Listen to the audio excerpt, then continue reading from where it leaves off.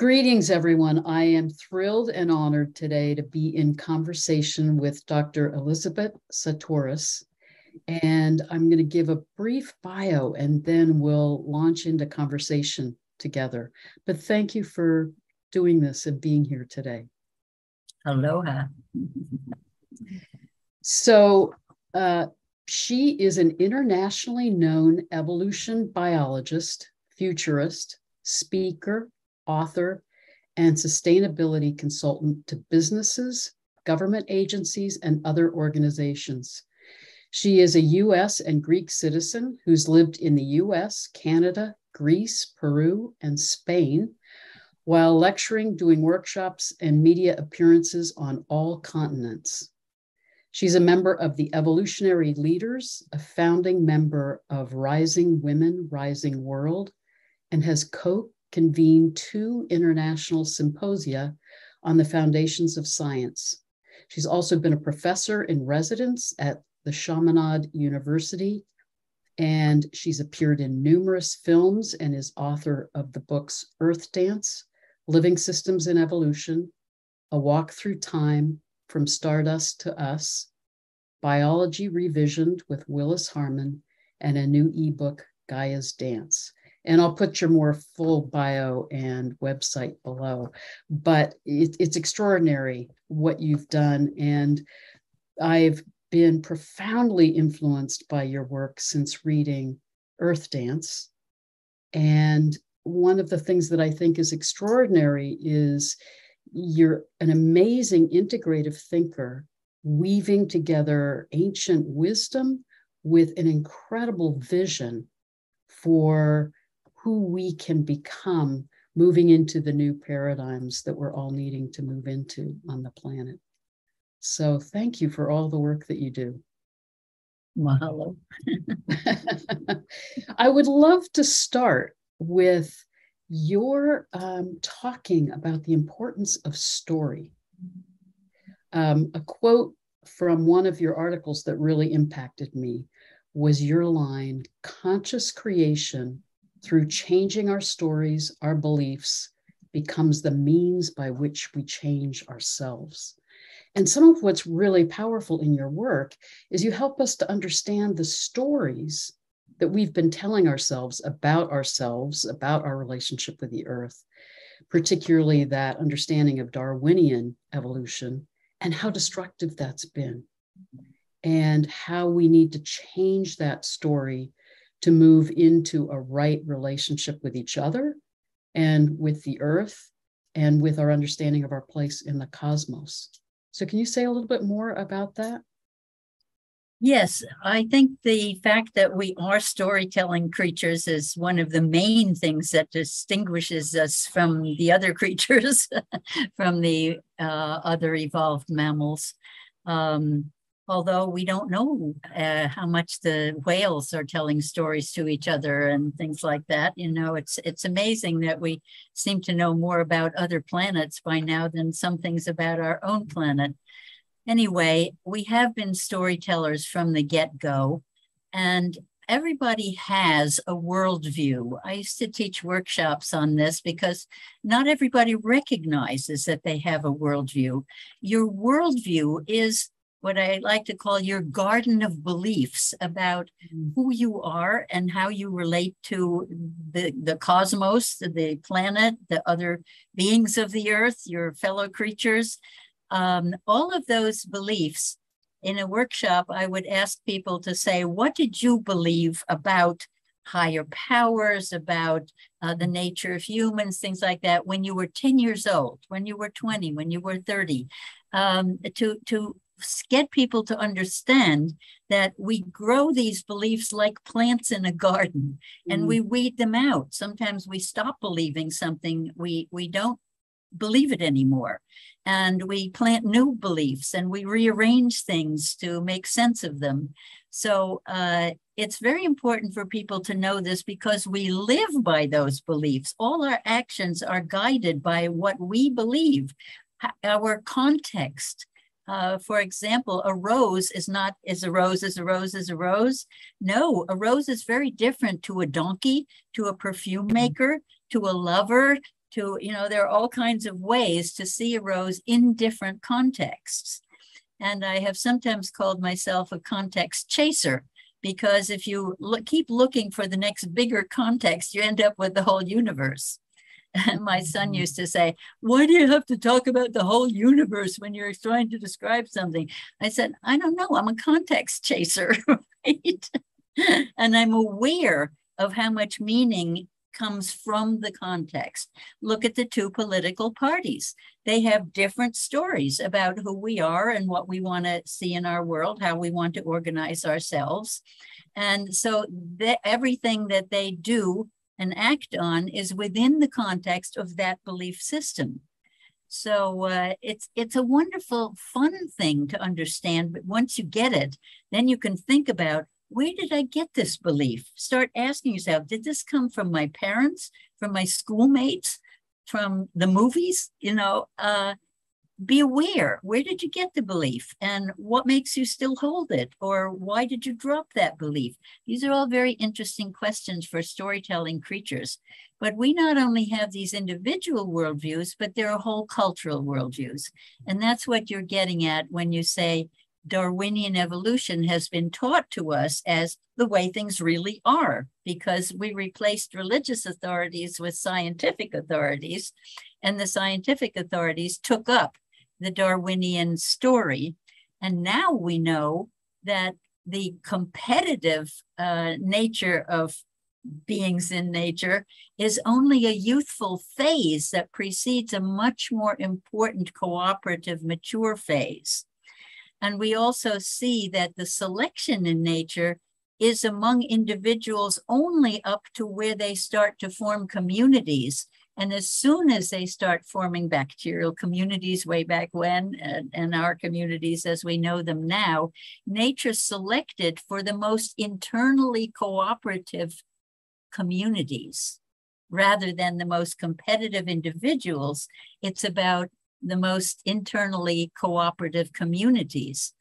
So each of our bodies is a community of some 50 trillion cells, each of which is as complex as a large human city. And we can learn all sorts of things from our bodies about how to do really good economics and politics and all those things. It's the kind of thing that can change your story. It certainly changed mine once I recognized that vast importance of cooperation and seeing that we are now in a transition between stories where we have to move from 6,000 more or less years of empire building for which the Darwinian competition served that model and moving into a cooperative, self organizing, living system kind of self governance that we really want in the future part of what's extraordinary, and you and I have talked about this, is you're a double Aquarian. So you really understand from that astrological perspective the paradigms of the Aquarian age that we're moving into. And you you really have a deep understanding of these larger cycles of human history that we've been through. I mean, you and I talked in an earlier conversation about our understanding of archaeologist Gimbutas's work and some of the understanding of these ancient cultures that understood cooperation, how to live in harmony, right balance with the natural world. But as you're saying, in the last several thousand years that we've been in the empire building phase, we've been in a process of disconnection from the earth and from that cooperative model and in more of that competitive model to the point of taking ourselves to the brink of destruction. So we're needing mm-hmm. to deconstruct that story and paradigm and move into a radically new old story. Yes, it's it's interesting. There's a, a new book called The Dawn of Everything that chases uh, human history way back to the beginnings and shows that we tend to think of this linear progression uh, from tribal to agriculture to urban development and empire building uh, as, a, as a linear sequence for all humanity.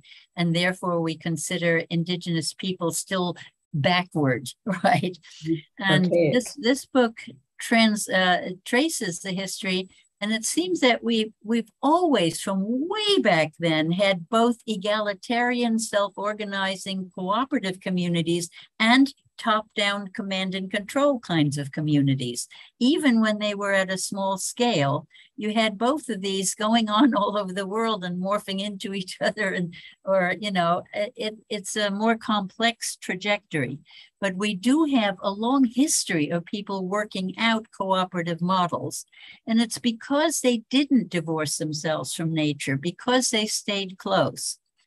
I think that uh, our problems came in well, the earliest agriculture, from my perspective, was spitting pits agriculture, which meant you were moving through the paths in the forest, uh, you know, picking fruit and eating, and and then spitting the pits along the path. Now I understand what you mean. Or you may have carried fruit from some other part of your territory with you, but now you're growing it in the new territory by spitting pits, right? Just as I think uh, cooking probably began by the good smell of a roast pig after a forest fire. You know, now, mm, that, that's that's better than tearing it off the bone raw. You know, it's softer, to get at, and something about it smells good. So. Um, I, I, like to think about what what is our trajectory, what was it, how did we manage, and I think the the first mistakes that we made was when we started, uh, instead of spitting pits along the pathway, spitting, you know, planting seeds in places where we then started to put fences around them. And fences was our first big mistake because we started to, uh, we turned that into property ownership to think that we can divide the land of our Mother Earth into per- pieces that I own it, you don't. I decide whether you can come here or not, which was the first great inequality, in a sense, uh, for a whole society. And uh, anyway, it's it's just fun to track these trajectories and to see how important cooperation is and to recognize that we humans are a social species. And uh, um, this is now really coming out strongly. Um, I'm just trying to think of her name, um, Woolley Barker. Tamsin Woolley Barker uh, has pointed out that there are only six species in evolution that have become true social species, meaning they live together in hives by the millions, you know, lots of them. Uh, and four of them are the social insects that we know, like the ants and the bees and the termites and the wasps, I think it is. Um, and then there are only two others, both mammalian. And one of them no one will ever guess because they hide so well. They're called blind mole rats and they live underground in cities of millions, very organized. And termites, of course, build mounds that are air conditioned and have millions of termites working as a community. And the sixth one is us. And that is why we evolved cities out of our hamlets and towns. We grew them into cities where we live all day cooperatively, stopping at red lights, paying at the supermarket, not hitting each other in the streets. Uh, you know, all day long, we're doing cooperative things and it's never mentioned in evolution biology. Isn't that really weird? That's really interesting. Uh, you know, there are a few other things science seems to have, have missed that are very fundamental, such as that it's always now, and that everything that we know and perceive and experience is all coming through our consciousness. well, speaking of that, talk about your keyboard image because I think that is really, really valuable. Yes, this is something that uh, it, it, it's always been sort of gelling in me, but recently I really fleshed this out. That when you're, um, my job on the planet is making complex things as simple as possible, right? And so, uh, in thinking about I had I had uh, organized a couple of symposia on the foundations of science, recognizing that Western science that I was trained in is not the only science on the planet, that other cultures evolved sciences as well. that there was ancient Taoist science in China and that there was Islamic science in the Middle East and and uh, um, you know we we Vedic science in India and the quantum physicists in Western science when they broke through matter into what we came to know as pure consciousness had no way of explaining their findings within the scientific worldview they had been taught because every science has to have some idea what the universe it studies is. You can't make a theory in a vacuum. So you can't make a theory about a universe if you have no idea what a universe is, right? So Western science, for instance, says the universe is all everything that we can perceive and it is made of matter. And then they uh, figured out how to measure energy. So energy came into that picture and uh, and they decreed that to be real, something had to be measurable with physical instruments. That's the only kind we can use, have, make, invent, and use. And so, but then I, when I held the uh, science symposia, uh, for instance, the first one was with people who had adopted what we call the paradigm shift that came out of quantum theory, which the fathers of the founding scientists, physicists of quantum theory turned to Vedic science because their Western science couldn't explain their findings, which is rooted in consciousness, right? So, uh, beautiful. When when trying to figure out, you know, how do I explain the whole universe or even a person? What are you? Are you really a body with a mind and a soul, or are you a body, mind, soul? Is this an integrated whole?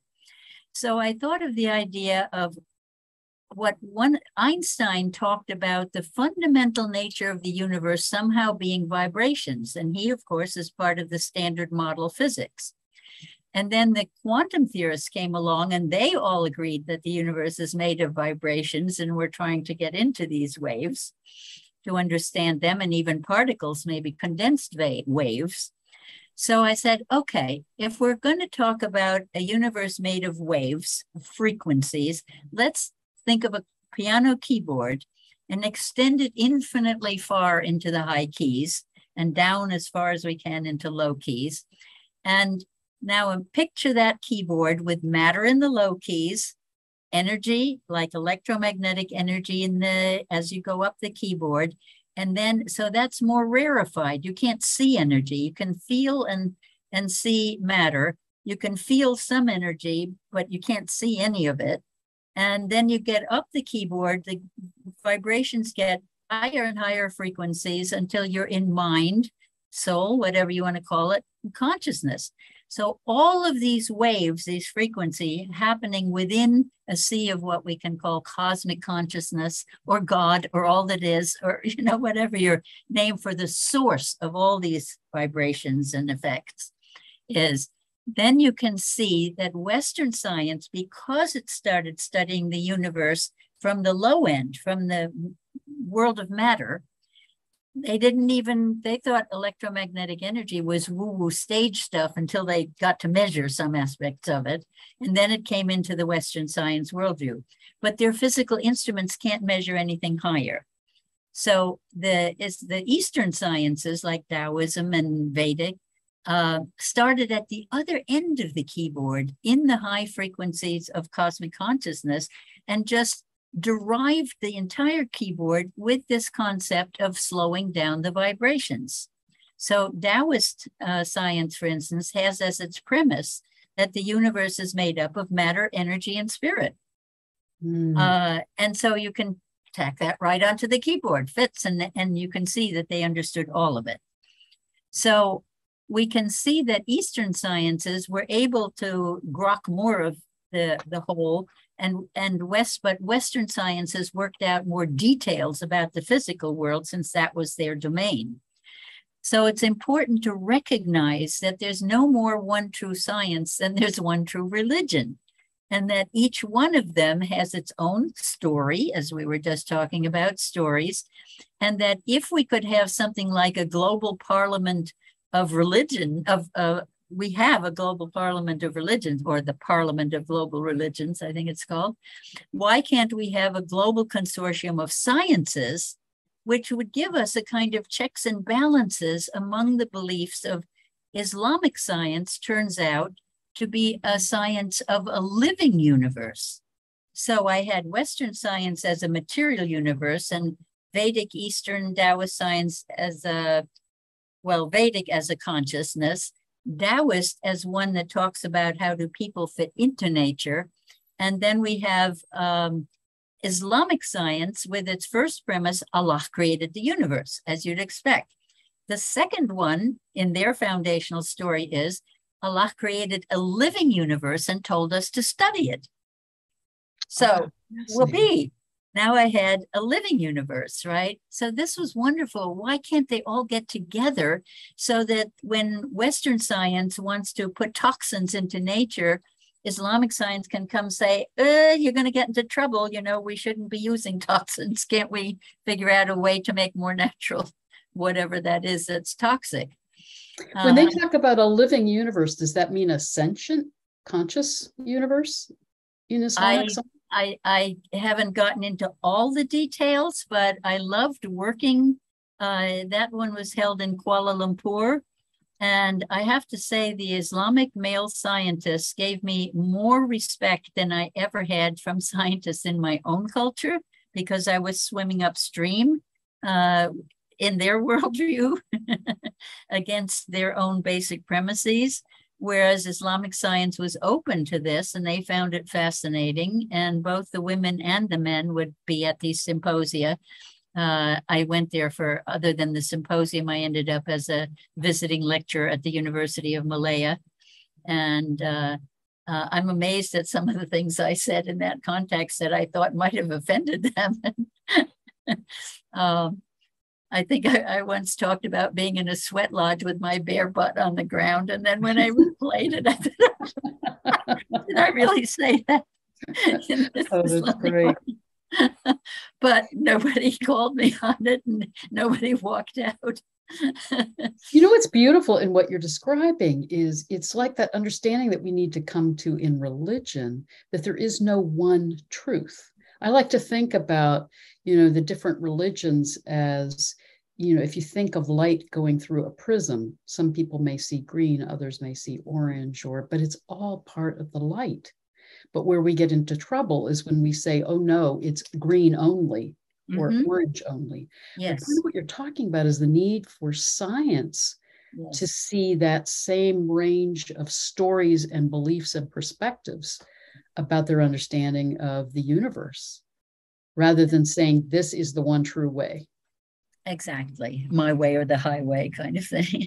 And and that's uh, just it that the parliament of uh, world or global religions world religions i think it is uh, which was headed by my dear friend audrey kitagawa for years until very recently uh, that they they got to understand by dialoguing peacefully with each other they could recognize the common essence in all the religions and be tolerant which is preached in most religions do talk about tolerance being important right and they so they were able to practice it on the common ethics of tolerance and the understanding of one source essence that can have different names but be the same source essence uh, we can call cosmic consciousness God. We can call it all that is. We can call it whatever we want. Call it Uncle George, you know.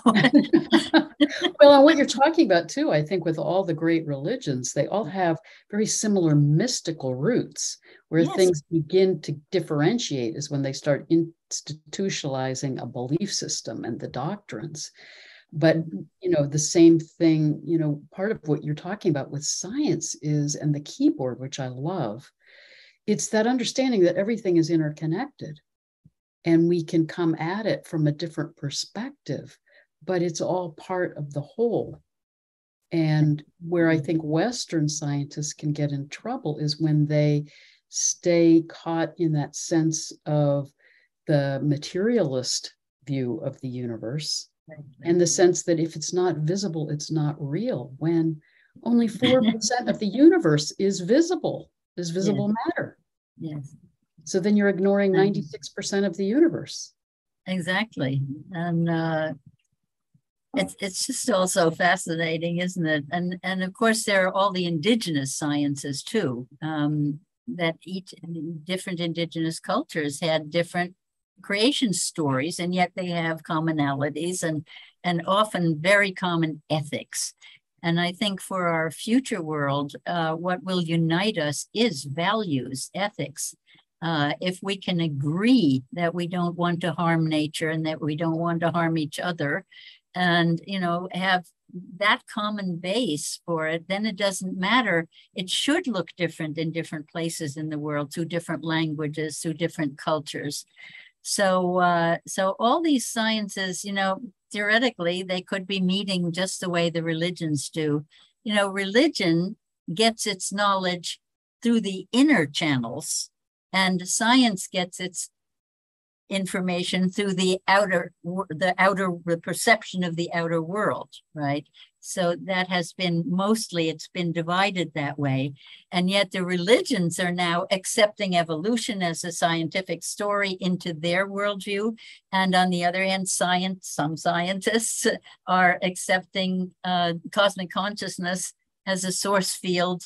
Uh, so they're coming together. It, it's it's it's inevitable that we understand we're all part of a same universe and we reflected by being body mind spirits ourselves rather than bodies with a mind. And i think uh, one of the the really fun things about the keyboard to me is for people who are interested in ufos in uh, visitations from outer space uh, there are so many stories of UFOs that pilots and airplanes have been followed by or have been tracking and or people looking up and seeing a UFO and suddenly it disappears. How is that possible? Well, think about the keyboard. How about a civilization whose story is the whole keyboard and has learned to integrate into consciousness and its material technology such that it can slide up and down the keyboard to get out of the way of our weapons. Because while the UFO is a physical, it can be shot down by physical weapons. But if they slide up the keyboard, they become invisible to us and they can't be shot at anymore. So I love that aspect of it. I when I was living in the Peruvian Andes, most of the people there believed in aliens because they had this experience of of the ships coming and and the ships uh, uh, hiding themselves under glaciers and things. You could see the lights through the ice. You see, you can do that in the non-material realm. uh, and they called them the doctors because they seemed to always be wearing white and they could fix trucks and human beings equally well. and so, so this was part of life up there, right? Mm-hmm. And I reckon that's one of the places that such ships would should land if they have any sense. And I, I reckon they have a lot of sense because the people were friendly. no one was shooting at them. Uh, so it, it's a safe place on our planet to be in indigenous territories, you know, where uh, they can be far away from big weaponry and stuff like that. Sorry, I'm kind of ranting. no, this is this is beautiful, and you know it's interesting in what you're saying and in what you were talking about earlier. You know, so much of the paradigm of the Aquarian age is about mm. coming back into connection, into cooperation, into a new sense of community with each other, and the acceptance of diversity within the context of community, which is exactly what you're describing. And one of the things that you talk about in your articles too is the importance for us of using nature as a role model. Yes. And nature, Mother Earth, shows us how to have biodiversity, diversity in the midst of cooperative interconnectedness and interdependence. And my sense is that some of these advanced cultures from other parts of the galaxy have learned that. And we on Earth can't mm-hmm. really become more full citizens of the galaxy until yes. we learn that lesson. Otherwise, we're not only not only are we an incredible danger on the earth and we've Mm-hmm. triggered the sixth mass extinction on the planet but we'll take that destructive energy out into the galaxy into the universe if we don't learn those lessons Absolutely, and and uh, many people who have had encounters have said they're warning us not to trash our planet, uh, and that's one of the main reasons why they come down to, and try to commune with some of the. I say commune because uh, it's people who can accept the direct transmission of knowledge, who can, who, who can have dialogue with them, uh, and communion is is belongs to the higher frequencies where communication through language belongs further down. And uh, and and I know uh, I know one person personally who was actually taught to what used to be taken out onto these flying saucers and was taught to fly one and he and others that I later ran into through research were all to, said they connected my mind to the physical ship in such a way that I became the ship and could steer it with my mind. And so I know that all the reverse engineering that's going on uh, in our dark governance world uh, will never succeed because they don't have a clue to what that would mean. So they, they may be able to reverse engineer the hardware, but they're never going to get them to fly. so because they don't understand the whole keyboard and that's why it's so critical and yes we can learn from nature everything we need to know about politics and economics for example uh, which i know you're interested in um, i know of no indigenous culture that ever used the vote to make decisions the haudenosaunee whom we call the iroquois from the uh, northeast United States into Canada, that kind of area where I grew up in Mohawk territory, had united six nations under a great law of peace. And they truly had uh, a civilization that was by the people, of the people, for the people, in ways where grandmothers chose chiefs and could depose them if they weren't serving their people. And uh, and men had to wear a skirt into parliament and carry corn grinding bowl to propose war to remind people what would happen to the food supply and the women and the children and so they had a thousand years of peace until the uh, Europeans came along, and Ben Franklin made friends with them and learned these things. So we have practiced at that scale already to build cooperative societies. But the reason I brought it up was because of the vote. And when we talk now about how to save our democracy, I'm in dialogue with a lot of people now about what do we mean by a democracy and what do we want to keep. The first uh, democracy in ancient Greece, of course, wasn't a democracy at all. It left out about three quarters of the people. Half the people were women and, and about a quarter were slaves, and neither of those were part of it. But they did immediately use the vote to make decisions. And as we all know, a vote can leave out almost half of the population voting. Uh, so it never can represent all the people unless they vote 100% for the same thing. And so when we every four years make a decision to have either a conservative party or a radical party, let's say a progressive party, that doesn't make any sense in nature because nature mm. is profoundly conservative with things that work and radically changes the things that don't work. And that is going on 24 7 in every ecosystem in your own body. There is dialogue instead of voting to reach consensus. Now, the way it works is think holarchy where you start with, let's, let's say, start at a cell, which is already as complex as a large human city, but a cell within an organ, organ system, body, bodies in family, community, ecosystem, nations, all the way up to the context chasing universe, right? Um, so what happens is that every level of any holarchy, whether it's the holarchy of your body, of your community, of whatever, must meet its self interest. A couple is a two level holarchy. Each person in it is at one level is two individuals, and the next level is couplehood. Mm. Everything you decide in your marriage or whatever your partnership is about has to be agreed upon. So if one person wants one thing and the other works the other, there's some kind of concession has to be made, or you have to make a third decision amenable to both. In other words, self interest must not become selfishness. Mm. When it's selfishness in your body, it's a cancer.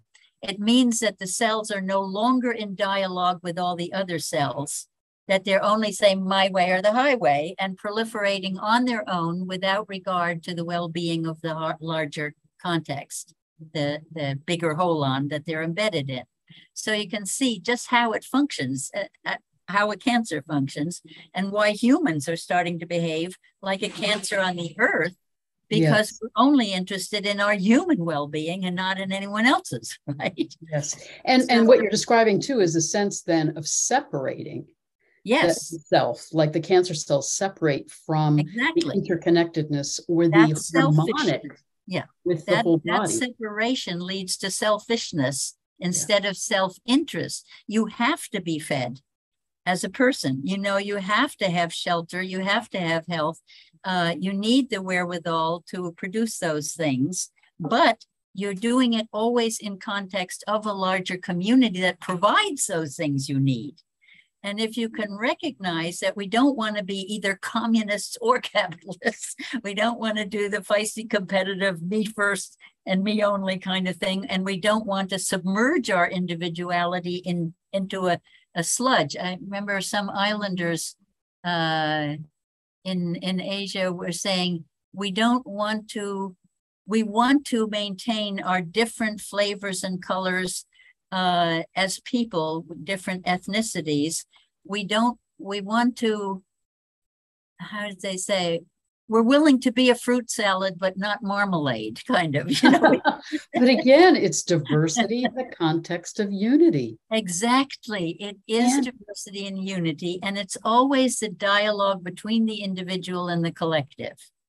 Now, I've been through lots of meetings with Indigenous people and if you don't want to sit up the whole night reaching consensus on something, you start giving a little. Without losing your self-interest, you make more concession to whatever the other people want in, in community because they're all looking at they need to meet their self-interest too. But they're also looking at the seven generations most of the time, too. So rather than, I mean, so much of our modern politics is driven by the crisis in the moment yes. rather than that bigger view of what's really going to be in the best interests of future generations absolutely but but so first of all we have to recognize that in our democracy if if we can call it that, it's more like a mask on corporatocracy at this point. It's what we preach to the world that we are, but it's not what we're acting as. Yes. We are the most violent here in the United States. We're the most violent nation in the world. We have military bases in 83 countries, whereas Russia has only three and China one, or or the other way around. That's the max of our arch enemies. And so uh, we don't get what we have become. And we don't get that maybe voting is not something we want to take into the future. In Canada, there was an experiment where they randomly picked 10 people from across the country from different walks of life and they had them work out major decisions that were confronting the government. And they found that those 10 people together in circle made as good decisions as the government. uh, you know, we're capable of cooperation. We're capable of understanding the issues facing us. And in our bodies, constantly all the cells are in communion with the organ, with the organ system. If part of your body gets hurt, you just break a leg or, or, or, or cut yourself. None of the cells are saying, don't send extra resources there because they know that the body has to stay healthy as a whole for them to flourish themselves. So we have we have ethics, we have uh, imagine that you're going to do world economics in your body. And uh, so you, your, your northern organs, uh, the heart lung system up here, uh, and, and then all of the blood cells um, are made in, in the marrow bones all over the body. And then that, that bone marrow uh, stem cell gets turned into an almost blood cell and gets swept up into the heart lung system. And in the lungs the the oxygen is added and then it, it, ends up in the circulation of the blood. Imagine the heart now as the distribution center of that blood announcing the body price for blood is so much. Who wants? Mm. just think what would that do to the economy if some of the cells couldn't afford it? And right so you know, this is, yeah. these are nature models, right? well, the other thing that you're talking about, which so correlates with your keyboard imagery, is the the and and I love this principle that that I, I know is in ancient cultures, like in ancient Egypt, the understanding of ma'at, which means everything is meant to be in right relationship and right balance with everything else. So the keyboard is also about things need to be in harmony with each other because then everything thrives. Mm-hmm. Whereas when you're in that competitive model, some thrive and others uh, are barely able to survive. Exactly. Exactly. And that's what uh, there are such wonderful role models in in the world um, besides all these things we can learn from nature, I'll just say one more thing about ecosophy.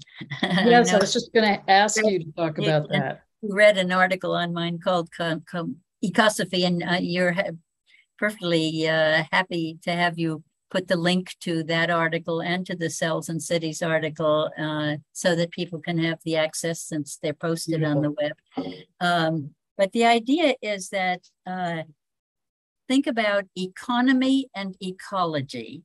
We know what that ecology is uh, about nature and that economics is about what we do with nature, how we transform it to our use. Uh, but the two words come from the ancient Greek word ekos, which is household. And they saw household as a holarchy from family to community, all the way up to the gods and what they were doing in the sky and uh, things like that. So um, the ecology is ecos put together with logos, which is the design. The design of the household is our ecology. And the economy is the nomos with ecos, nomos meaning law, the rule, how you run it, right? How it's how it's designed and how you run it, how it's organized and how it functions. Uh, and you say, why would you take those apart to start with? Uh, can you do that? Can you take them apart? Can you talk about politics without economics when most most politics are about economics, like right. World Trade Organization rules, all those things. Anyway, what we've done is we've made the ecology subservient to our economy. We've put the economy on top and we've seen the ecology as a set of resources for human consumption. And that's where our problem lies. Flip that over and fit your economy into nature, into the ecology, and you have what I call an ecosophy, which is the household with the word Sophia for wisdom, the wise household. Mm. So that's an example of my making complex things simple to understand that we must in future fit have politics that let us fit our economics into nature. That's where we have to go in the future. So, um, that said, we have role models in the world. We could talk about some of the communities who are practicing a better kind of self governance. I'll say more about that. okay. Uh, my favorite uh, rural community is called the Sarvodaya movement, Sarvodaya, S A R V O D A Y A, and that's in Sri Lanka. And it has brought together uh, something like 10,000 little hamlets and villages. It's a big island uh, in self organizing, bootstrapping their little local economies bank books with pennies in them that you uh, you are taught can be lent out to others while you don't need them to build some buy some farm machine or something. Anyway the young people the children the first thing they are taught in the sarvodaya movement among those people is to uh, to meditate on inner peace and generosity. Wow, wow. just those two principles Imagine a world in which everyone is a peaceful person focused on what they have to give to others. Do you need any other rules? Beautiful. and then there's, and that that was founded by Dr. Uh, Ariyaratne, whom I met many years ago, and I got to go to uh, Sri Lanka for a, a conscious clothing uh, conference and visit him in his home, and and now his son Vinya has taken it over. Um, uh, that's a rural cooperative society. My favorite urban cooperative society is Mondragon in Basque Spain, like my dragon in French, M O N dragon, right? um, that is a community that was started by uh, a Catholic priest many, maybe 50 years ago or so, who wanted to build a new human society and wanted the young people to get interested in doing that. So he went around to bars or wherever the young people were hanging out and said, What if we built a society that wasn't communist or capitalist, but based on loving human relationships? Mm.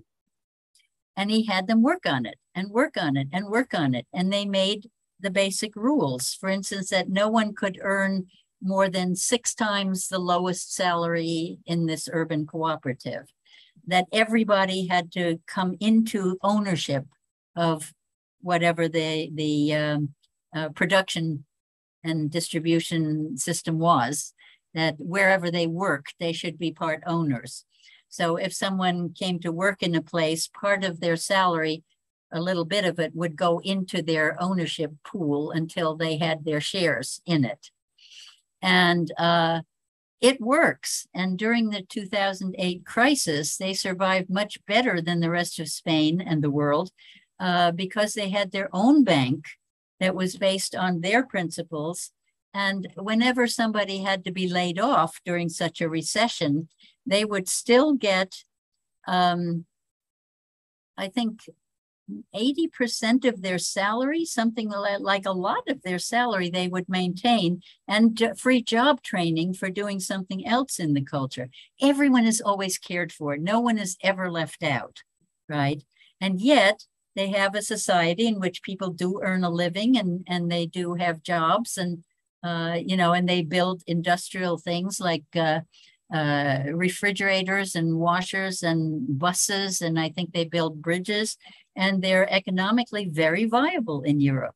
So we know that those are two examples. Then we have a whole chain of the global eco village network, and we have the Findhorns and the and the uh, transitional communities. Yeah.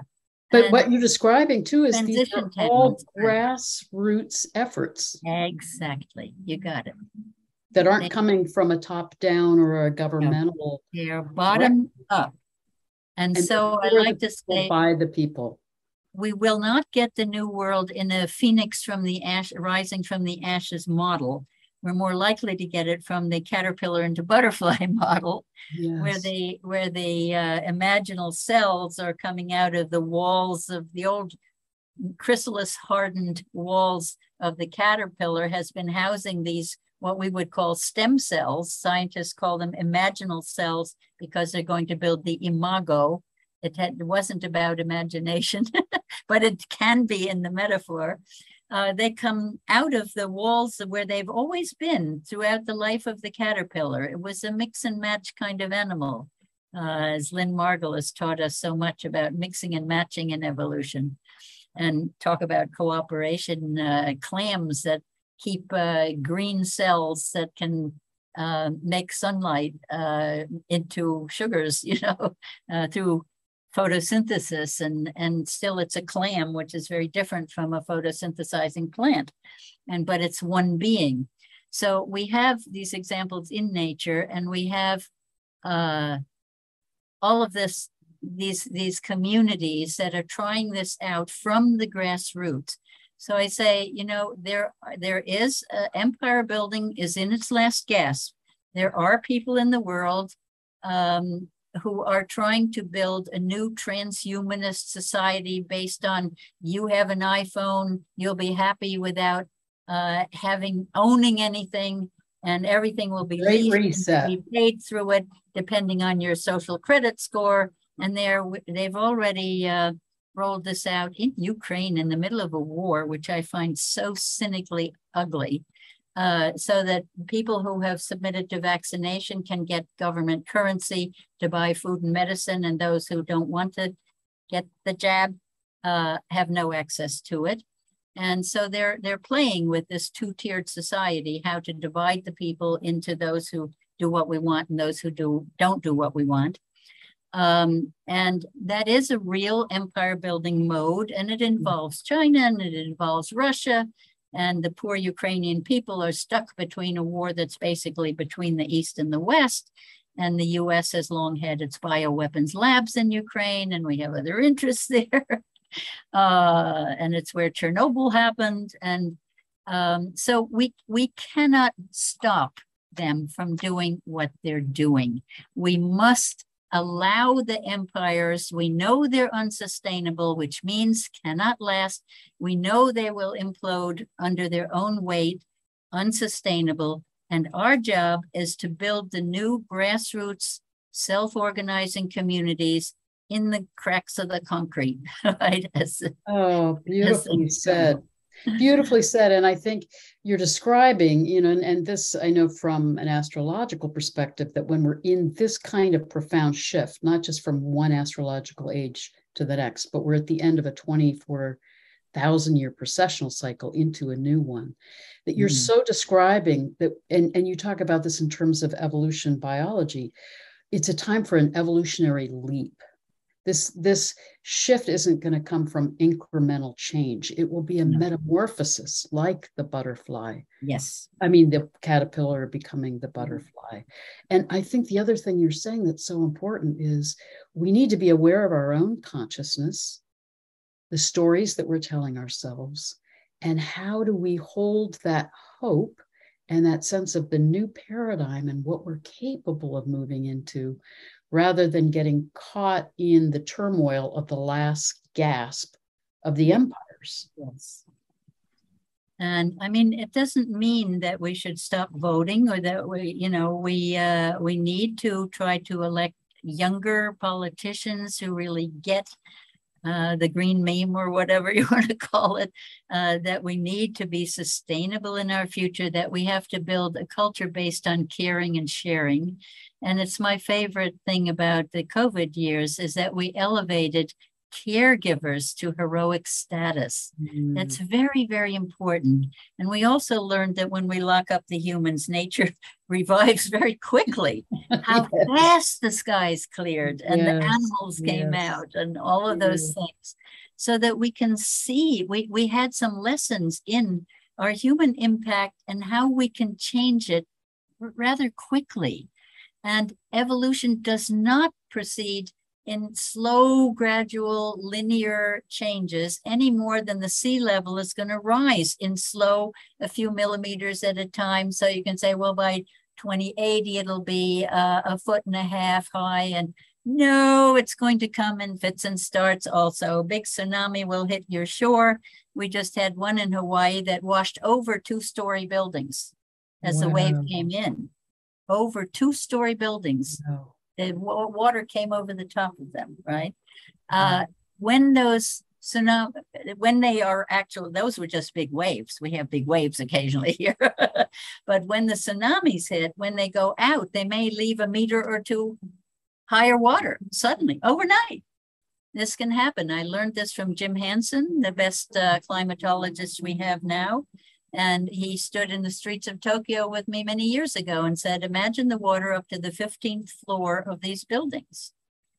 And this is on the real side. Sandbagging ain't going to keep it back. Um, so we have to talk not about stopping climate change any more than stopping the empire juggernaut. We have to talk about adaptation. How do we adapt? How do we use what we can of this old system of the butterfly, the caterpillar materials to build the butterfly from?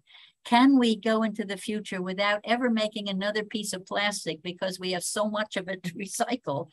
uh, can we do can we go into the future without further mining by recycling what we have in glass and steel and all of these things um, you know we have to talk about what technology transfer can we take into the future if all the young people are busy digging themselves out of floods and fires and famines and things like that they're not going to be on their iphones looking for their ipay and mm-hmm. and what supermarket will they use that iPay in when the supermarket is gone?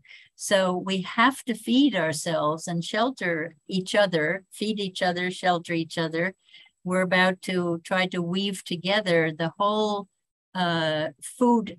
It's not yet a network, but all the food endeavors on our island.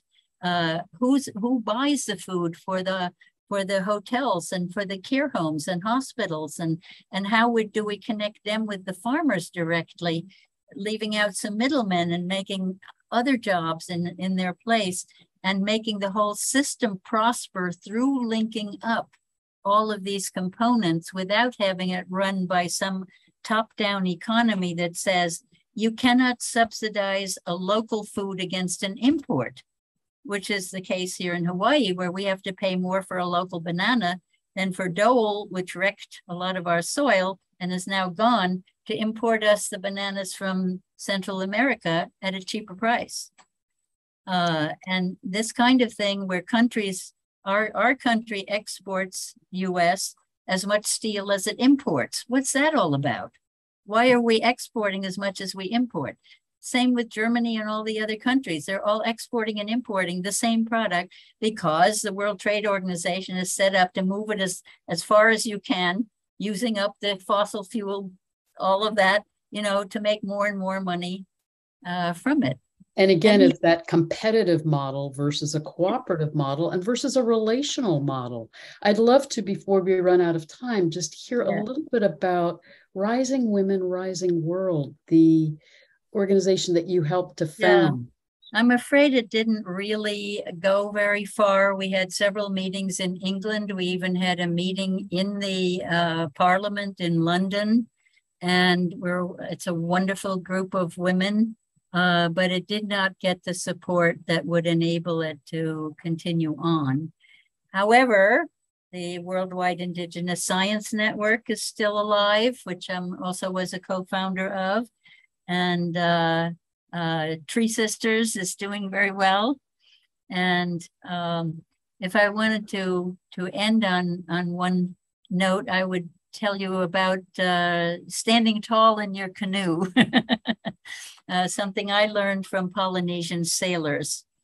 Um, here in Hawaii, we built a replica of the ancient uh, canoes that sailed around the whole world uh, two years ago, this replica of an ancient canoe sailed around the entire world. They used to, they hundreds of years ago, they sailed to the Caribbean, taking breadfruit with them so that Caribbean islanders have breadfruit trees in their yard. Breadfruit is the most no work agriculture in the world for the most wonderful food that just drops on your head if you go to sleep under the tree. no plowing, no nothing. And big companies are trying to patent it now, of course. But anyway, uh, the Polynesian sailors, first of all, they never uh, made rigid joints in their canoes. Everything, every part of the canoe was lashed to other parts so that it could ride the waves flexibly. Mm. And that flexibility is lesson one. Uh, the Polynesian soldiers told, uh, sailors told me all the ways they had of reading nature in order to navigate besides knowing the stars, which could orient you where you were if you knew the star patterns throughout the year, the cycles of right. the, the stars, uh, you could navigate by those. But what if it's cloudy and stormy for a couple of weeks and you can't see the stars? They had uh, patterns of fish migrations and seaweed floating, and how clouds form over islands, and all of these these the deep swells versus the surface waves, and uh, and then they said when all else fails, stand tall in your canoe until you can see your destination. Mm. And what they hmm. meant was raise your consciousness high up above I mean, who hasn't played on a Hawaiian beach like this during a dull lecture? Don't tell me you can't move your conscience. and So, uh, what you're doing is you're taking your consciousness up to where you have a larger perspective on things. And uh, so, when you feel like you're down in the bottom of a black well, you know, that everything is closing in on you, the world is going to hell in a handbasket or to pot or whatever you metaphor you use. Uh, instead, raise yourself up. I, I was feeling the weight of the world under on my back like Atlas, right? And I turned that into a hot air balloon to get it to lift me instead mm-hmm. of my lifting it. and um, you know, metaphors like that are important. We we put plant them in our minds and and try to live by them and improve things in our lives. So uh, when you do that and you stand and you lift your consciousness above, look down now on the human drama playing out and see it as a necessary drama in our human evolution so that you start seeing people you think of as the bad guys as maybe having come to wake us up in one way or another and stop seeing them as enemies but watching the flow of migrating from a top down patriarchal empire building model into your grassroots mother nature caring and sharing kind of world and see where were you maybe banging your head against the wall because there was no flow and where might you be able to get into the flow to move something through whatever you love doing whether you're a musician or a techni- technician or a doctor or a mother or you know whatever uh, there's room. We need that diversity. We need everybody to find out something they love doing that is going to push us in the right direction or pull us in the right direction, whether you're an attractor or a pusher, right? Um, and that that will give you a better outlook on it. You don't have to save the whole world. You just have to participate in this participatory living system that you're in anyway, you are participating and you have a choice. Every choice you make is part of your life, your evolution, what happens in your life. Every belief matters. So that's wow. the way I keep my hope up. That's the way I remain an optimist, even if the human population, let's say it was decimated by two thirds. Isn't that one third Want to be in it? That's your choice. The way to create the future you want is to start living it now. Mm-hmm. Eat the food you think people should eat in the future. Treat people the way you think people should treat each other. Start practicing all those things you want in your future world as much as possible, and things will start looking better. Oh, that is so beautiful. And it so reflects that Hopi prophecy. We are the ones that we've been waiting for. But mm-hmm. also, what you're talking about is that understanding that when we hold that higher consciousness and we are energizing this new future, we're co creating it together. And like Rupert Sheldrake's sense of the morphogenic fields, if even a mm-hmm. minority of us are seeding that in the collective consciousness, it will change the world. Yes. Oh, it's, going to change anyway, and each of us are a participant in its change. So let's do it in a in a happy, positive, and do it in a way that's in harmony with the evolution that Mother Earth herself is in. Yes, yes, uh, exactly. Um, she's here to teach us, and it's really fun learning from her, mm-hmm. and we know what to do. Oh, beautiful. Thank you so much. Thank you for being in this conversation and for sharing your wisdom with us. Butterfly world.